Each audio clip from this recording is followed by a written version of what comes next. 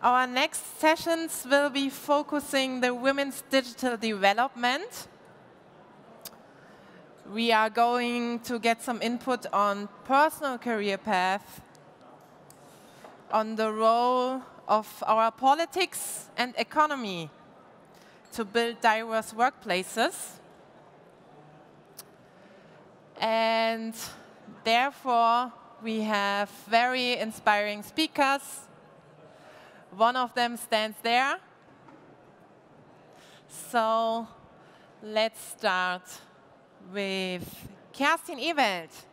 Kerstin Ewald works as the head of communication, head of community, sorry, at Quora, which is a Q&A platform.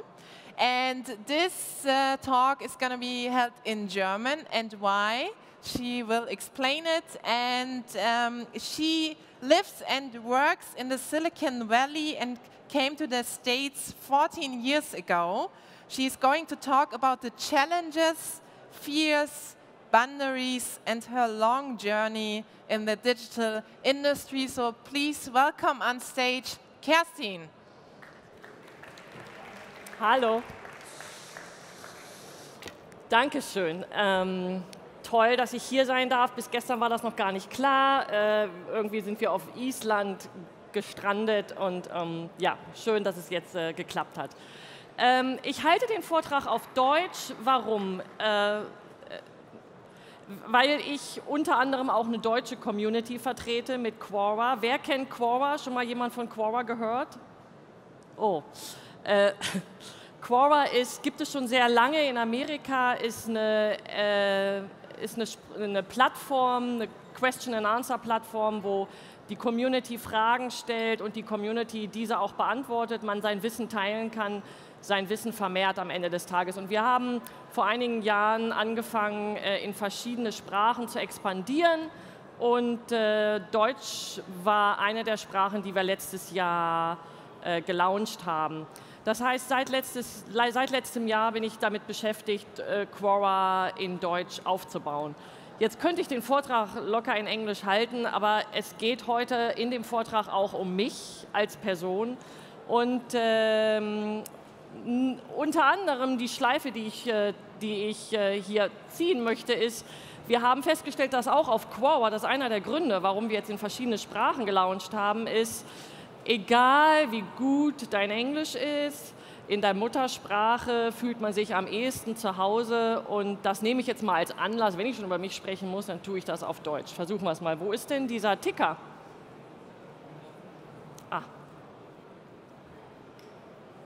Okay. Jetzt wurde mir dieses, äh, dieser Titel wurde mir, ach so, kurz vorweg, dass ich den Vortrag auf Deutsch halte, war mir bis gestern noch gar nicht so klar. Jetzt heißt es aber, das Panel ist auch gleich auf Deutsch, dachte ich mir, okay. Jetzt ist aber die Präsentation auf Englisch, nicht, dass ihr jetzt irgendwie verwirrt seid. Dieser Titel wurde mir vorgegeben, der kommt gar nicht, der kommt nicht von mir, den hat mir die Cebit vorgegeben. Und jetzt hatte ich ja jetzt werde ich in meinem Vortrag viel mit Fragen spielen, weil das ist das, was uns als Quora auch ausmacht. Auf Quora stellen wir Fragen und beantworten diese.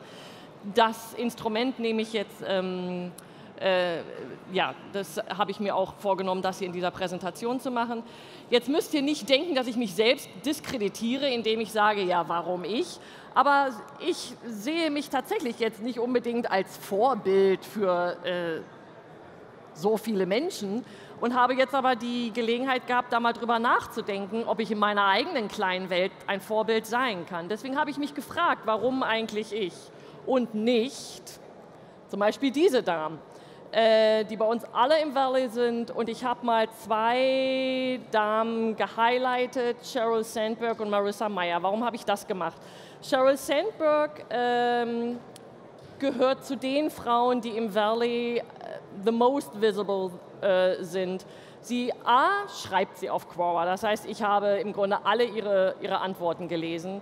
Ich habe ihr Buch gelesen, sie ähm, ist omnipräsent. Ihr Schwager hat bei uns gearbeitet bei Quora, sodass ich kann, ähm, ich habe irgendwie eine Beziehung zu ihr. Ich kenne die Frau nicht persönlich. Äh, und Marissa Meyer ähm, habe ich als Beispiel genommen, weil sie, bevor ich zu Quora gegangen bin, war ich bei Yahoo und äh, sie war meine Chefin und ähm, sie war der erste CEO, der es geschafft hat, auch äh, von den Mitarbeitern wirklich ich sage mal, geliebt zu werden und sehr verehrt zu werden, weil ähm, das war immer das große Problem bei Yahoo. Und sie hat so verschiedenste Dinge gemacht, die vorher nie passiert sind, für Transparenz gesorgt. Jeden Freitag war ein FYI, äh, wo sie aufgetreten ist und sehr transparent erzählt hat, ähm, was los ist. Und dass äh, die anderen vier Frauen, auch tolle Frauen, aber zu denen habe ich jetzt weniger eine Beziehung. Ähm, warum eigentlich nicht die. Und dann habe ich mir überlegt, was haben wir vielleicht alle, und damit meine ich nicht nur diese Frauen, sondern meine auch euch als Frauen und als Männer ähm, gemeinsam und was haben wir vielleicht nicht gemeinsam. Und für mich key ist, authentisch zu sein. Ähm, vielleicht ist das auch einer der Gründe, warum ich die Rede ähm, heute die Keynote in Deutsch gebe. Ähm, das war für mich mein persönlicher Key im Job, in meiner Welt erfolgreich sein zu können. Äh, und zwar in meiner privaten und in meiner Businesswelt. Und das ist, und das, ich, das kann ich, das sind jetzt alles ähm, Vermutungen, die ich anstelle. Da habe ich jetzt keine Beweise für. Das ist aber etwas, wovon ich ausgehe, dass wir das gemeinsam haben. Also authentisch zu sein, ähm, vulnerable zu sein. Das hat Sheryl Sandberg zum Beispiel, wenn, sie, wenn ihr das Buch gelesen habt, dann könnt ihr das nachvollziehen. Ihre Antworten auf Quora sprechen dafür, wenn sie darüber redet, wie sie mit dem Verlust ihres Mannes umgegangen ist oder wie sie, also, I don't know, im Boardroom zusammengebrochen ist. Das sind alles, da hat sie eine Seite gezeigt, die, ähm, die sie so sehr nahbar werden ließ. Und ähm, das übrigens auch durch Quora transportiert hat. Und auf Quora wird sowas sehr zugelassen. Wenn man dort seine zerbrechliche Seite zeigt, oder äh, dann bekommt man dafür ähm, Anerkennung. Und äh, damit meine ich jetzt nicht, ähm, the Crybaby zu sein. Ähm, being good at the job hört sich so hört sich so an, als sei, das muss ja wohl ein Given sein. Ist es aber ganz oft nicht. Ähm, und äh, ich kann nur jeden ermutigen, jeden Tag 100 Prozent zu geben. Es müssen nicht jeden Tag 110 Prozent sein. Ähm, und äh, es gibt, ich habe jetzt genug Leute gehört, die auch gesagt haben, mit 85 Prozent geht es auch. Das mag sein. Das äh, äh, gab jetzt gerade einen aktuellen Artikel, der gesagt hat, Frau, äh, Männer geben sowieso nur 85 Prozent und schaut, wo die gelandet sind. Ähm, das muss jeder für sich selbst äh, beantworten. Ich ähm, ähm, denke, gib das Beste, was du geben kannst, jeden Tag und hab auch äh, hab einen starken Willen und damit, was damit für mich auch einhergeht, traue dir auch Dinge zu, von denen du vielleicht am erst, im, im, ersten Moment nicht denkst, dass du es kannst. Also auch vielleicht Dinge, wo man gar nicht denkt, dass man dafür ausgebildet ist oder ähm, dass man, als mir gesagt wurde, ich soll Quora auf Deutsch aufbauen, da war ich schon so ein bisschen intimidated und dachte, ja, wie soll ich das denn machen? Äh, jetzt gibt es Quora auf Englisch, gibt es schon seit neun Jahren und wir haben über 200 Millionen User und ähm, überhaupt können alle Deutschen wunderbar Englisch. Warum sollten die, warum brauchen die Quora auf Deutsch? Ähm, seid resilient, das haben, ich gehe, auch davon gehe ich aus, dass das diese Frauen, diese Frauen, die ich eben auf der Slide gezeigt habe, mitbringen und ich weiß, dass alle an einem sehr exzellenten Netzwerk gearbeitet haben und sich das aufgebaut haben.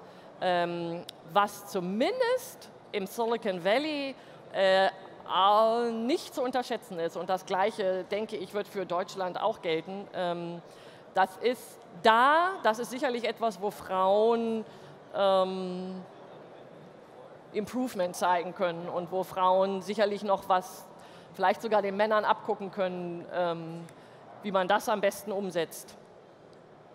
Jetzt gibt es kurz noch was dazu. Das sind alles Dinge, die sind vollkommen unabhängig davon, welche Ausbildung Menschen genießen oder aus welchem Elternhaus man kommt oder welchen finanziellen Hintergrund man hat. Ähm, ich habe mir all diese Frauen, habe ich mir deren Hintergründe mal angeguckt und vor allen Dingen den Education Background. Alle sind auf Top-Universitäten gegangen. Die waren alle auf, in Princeton, Stanford, Harvard. Ähm, da kommen wir dann auch schon dazu, was uns denn möglicherweise unterscheidet. Und genau, also zumindest mich unterscheidet das von den Frauen. Ich war auf einer ganz normalen deutschen Universität, an der FU Berlin.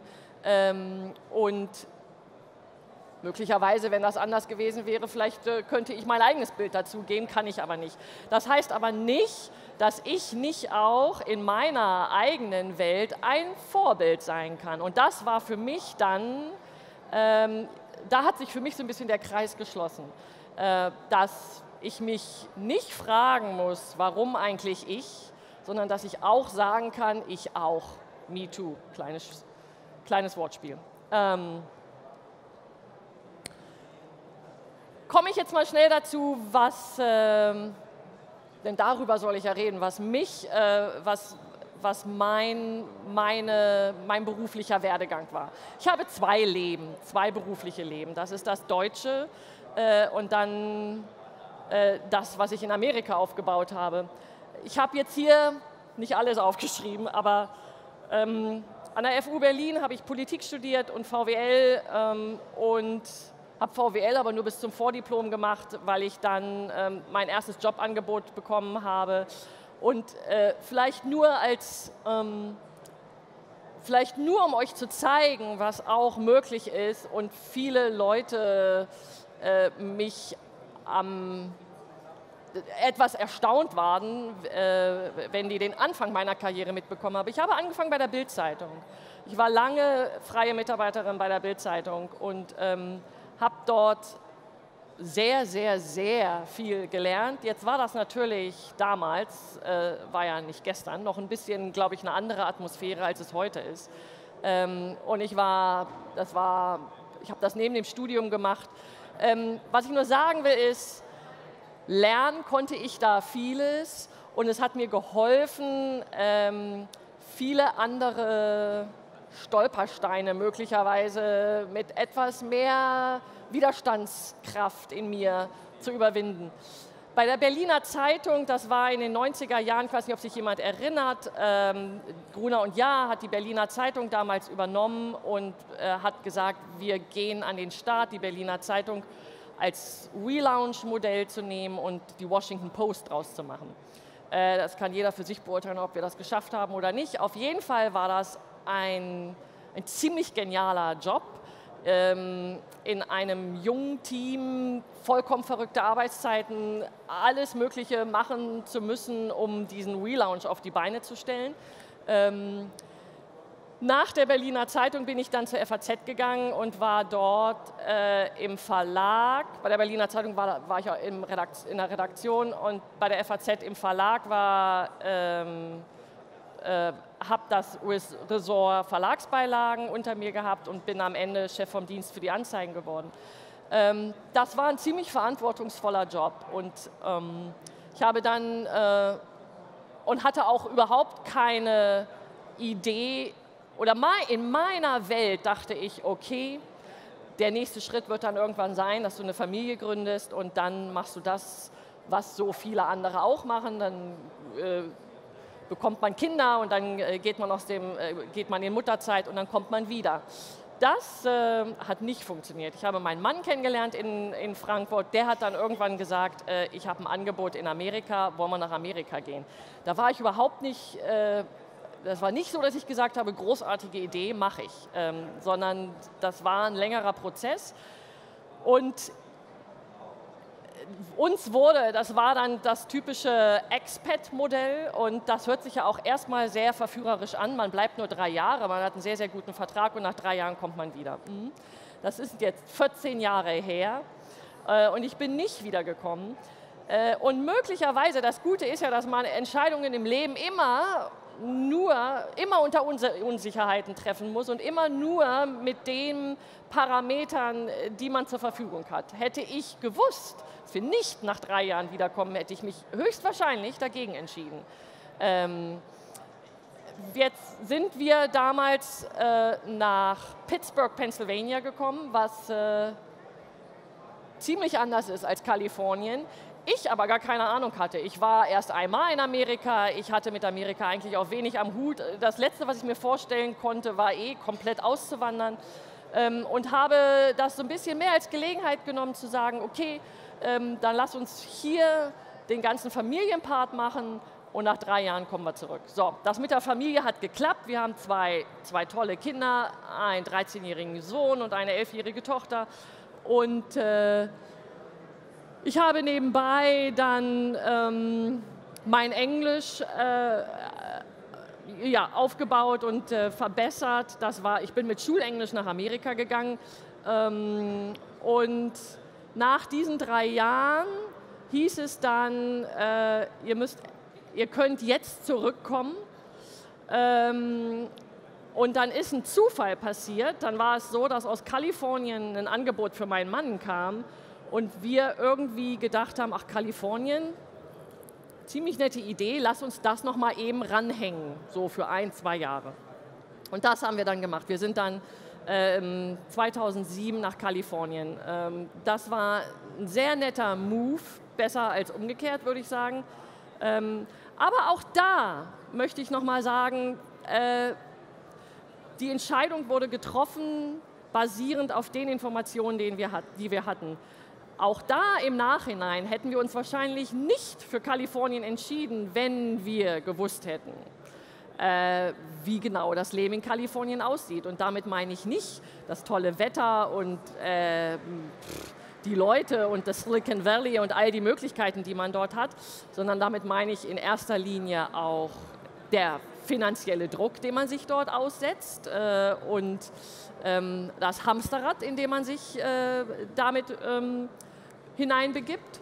Aber ich stehe nicht hier, um, äh, um zu klagen. Das haben wir, die Entscheidung haben wir nichtsdestotrotz bewusst getan. Und, ähm, und, ich, bin, und ich bin ein großer Verfechter davon zu sagen, äh, das hast du gemacht, da stehst du jetzt hinter und das ziehst du durch. Und jetzt war es so, jetzt bin ich also schon, wenn ihr mitgerechnet habt, sieben Jahre raus aus dem Job. Ähm, das war nicht, ich habe gedacht, es wäre einfacher, zurückzugehen in den Job. Ähm, war es aber gar nicht. Denn jetzt kommt eins dazu, wenn ihr wenn man anfängt, sich neu zu bewerben, sieben Jahre raus war, dann kann man in Amerika schon mal gar nicht davon ausgehen, dass irgendjemand weiß, was die FU war, was die Frankfurter Allgemeine Zeitung ist, äh, äh, was du studiert hast, was das eigentlich bedeutet, wie man das einsortieren kann. Hier bekommt man dann gelegentlich doch nochmal, ach, du warst bei der FAZ, das pff, spielt gar keine Rolle. Ich habe dann auch schon aufgegeben zu erzählen, was das ist. Gelegentlich habe ich nochmal gesagt, ist sowas wie das Äquivalent zur New York Times. Jetzt sage ich, ist eine Zeitung. Äh, und ich habe dann, das hört sich jetzt so pathetisch an, aber im Grunde ist es genauso gewesen. Ich habe ganz unten angefangen als, äh, für Google als Ads Quality Rater. Das machen 8000 Menschen auf der Welt. Das ist ein Einstiegsjob das ist, man arbeitet von zu Hause, freie Mitarbeiterbasis, 15 Dollar die Stunde, egal wo du bist. Ähm, ziemlich langweiliger Job, aber dieser Entry-Job hat dafür gesorgt, dass ich alle anderen Jobs danach ähm, nicht nur aufgrund dessen bekommen habe, aber es natürlich was zeigt. Du fängst, damit kann, konnte jeder was anfangen im Silicon Valley. Und jeder weiß, okay, äh, ist, ist Entry-Level, aber ähm, ich habe ja auch nicht gewusst, wohin das führt. Es war auf jeden Fall sehr flexibel und man konnte das gut neben den Kindern machen. Aber was ist das denn? Das ist nur ein kleines Zubrot. Das ist nichts, wo du sagen kannst, okay, ähm, ich bin hier der Breadwinner oder so. Das habe ich also eine Zeit lang gemacht und habe aber dadurch den Job bei Soodles bekommen. Soodles äh, ist eine Gaming-App gewesen, und habe für Zoodles mit High Educational Games für Kinder und habe Zoodles aufgebaut für den deutschsprachigen Markt. Wir wurden zur ähm, besten Kinder-App äh, im Computermagazin gewählt. Ähm, und dann wurden wir aber aufgekauft und Sudels gibt es heute gar nicht mehr. So, typische Startup-Geschichte.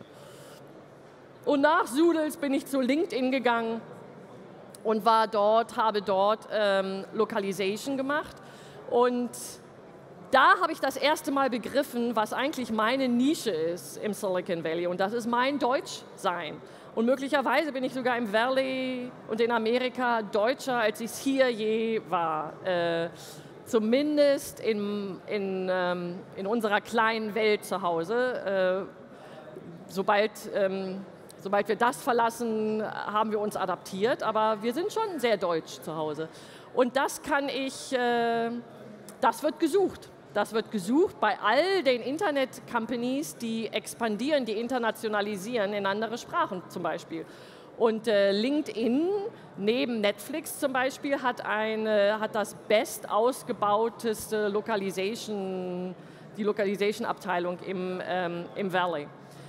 Und nach LinkedIn bin ich zu Apple gegangen und bin, habe dort das erste Mal Search gemacht ähm, und habe für Search iTunes gearbeitet, auch für den deutschen Markt und bin von dort aus, war aber auch nur Contractor-based und bin von dort aus zu Yahoo. Und das war eigentlich so für mich dann der Durchbruch. Dort ähm, habe ich Search gemacht für den deutschen Markt und war Country Manager dort. Es war ein sehr, sehr tech-orientated ähm, Job, was ich, ähm, wo ich sehr viel dazu lernen musste äh, und gelernt und gelernt habe und auch mit den, ähm, mit den äh, Ingenieuren jeden Tag meine Gespräche hatte. Ich sehe gerade, ich muss mich beeilen.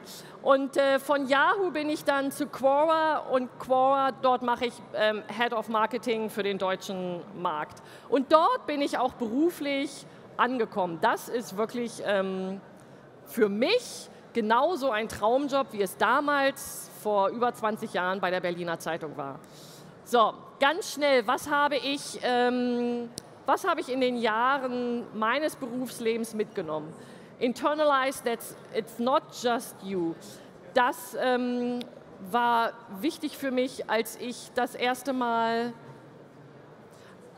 wenn man, wenn man sich Leuten mitteilt und darüber zum Beispiel spricht, weiß ich nicht, mein erster Chef zum Beispiel, mein erster Chef im, in Deutschland äh, war, war fürchterlich. Und ich war sehr jung, ich wusste nicht, wie ich mich äh, gegen den oder positionieren sollte. Und als ich das dann mal an anderer Stelle äh, postuliert habe, bekam ich ein sehr, sehr gutes Feedback zurück. Und ich habe mich dann am Ende ähm, gefragt, warum habe ich das eigentlich nicht viel früher gemacht. Es tut nämlich gut zu wissen, dass man nicht die Einzige im Boot ist.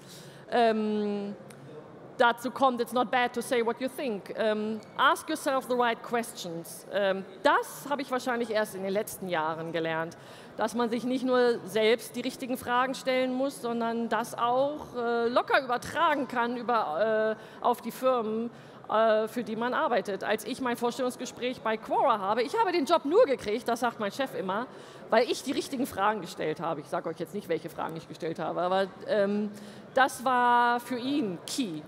Ähm, konzentriert euch nicht auf die Unsicherheiten, äh, die jeder von uns hat, über die man ungern redet, äh, die, ähm, die da sind, die man aber vielleicht einfach, mit denen man lernen muss, umzugehen äh, und dann ähm, einfach, glaube ich, besser dasteht, wenn man seinen eigenen Unsicherheiten ein Haus gibt, eine Heimat gibt. Ähm, don't anything for granted. Äh, das ist, das, das ist der Anfang vom Ende und das meine ich äh, sowohl im privaten als auch im beruflichen Leben.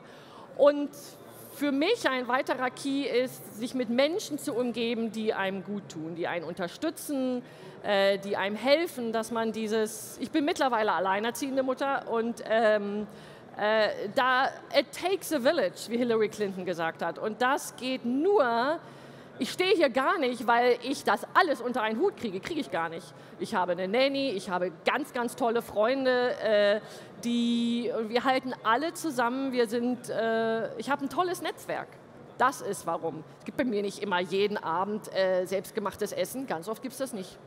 Ähm, Do I have a trademark? Auch das kommt nicht von mir, das kommt von meinem Chef, den habe ich gefragt, was er sagen würde. Und das ist das, womit er zurückgekommen ist. Und er sagt, das zeichnet dich aus.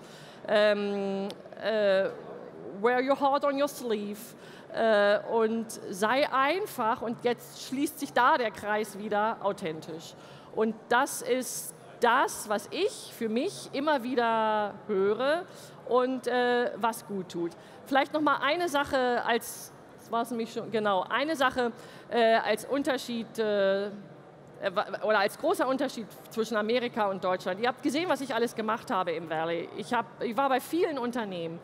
Ähm, vor einigen Monaten war ich in Deutschland und habe einen Vortrag über Quora gehalten vom Mittelstand. Und da kam ein Geschäftsführer äh, und sagte, mit ihrem Lebenslauf würden sie in Deutschland gar nicht mehr unterkommen.